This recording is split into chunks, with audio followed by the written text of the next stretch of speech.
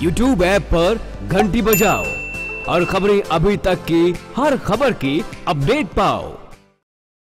अंतर्राष्ट्रीय Ramsar wetland Pong बाँध में कितने परिंदे पहुँचे हैं, ये वार्षिक गणना के बाद सामने आएगा। वन्य प्राणी विभाग ने बाकायदा विदेशी परिंदों की वार्षिक गणना के लिए तारीखें निर्धारित कर दी है। आज से 31 जनवरी तक परिंदों की गणना होगी। गणना के लिए सोमवार को तीन से चार पक्षी विशेषज्ञों वाली तेईस टीमों का गठन कर दिया गया है।